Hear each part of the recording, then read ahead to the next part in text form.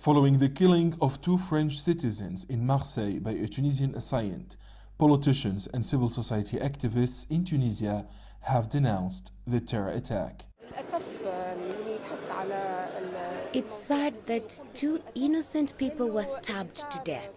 The terror attack in Marseille proves once again that ISIL sleeper cells are everywhere. They do not need to travel to conflict zones to be brainwashed. Young people turn into terrorism just by watching ISIL propaganda videos in their rooms. The MP Leila Chettaoui is the former president of the Parliamentary Investigation Committee into youth sending networks to conflict zones. She warns that the worst is yet to come. Thousands of young men and women have joined ISIL in Syria and Iraq. Terrorists from over 80 countries have taken up arms and joined ISIL ranks over the past five years. Now that they're losing the war in Syria and Iraq, terrorists are either returning home or entering Europe illegally.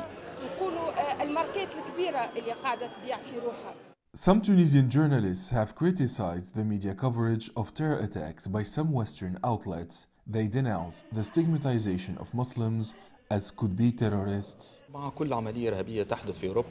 terrorists who kill people are responsible for their crimes and not the millions of people in our region. When a mass killing happens, a non-Muslim killer is automatically described as mentally disturbed, while a Muslim or North African has always to prove that he is not a terrorist. Killing people is terrorism. This scourge must be denounced and eradicated. In 2013, two politicians were assassinated on Tunisian soil by ISIL terrorists who were trained in Syria. Hundreds of officers and soldiers have also died in the government's proclaimed war on terror. The authorities in Tunis have always cooperated with foreign security services to identify and to neutralize any terror threat or cells. Adnen Chaouachi, CGTN, Tunis.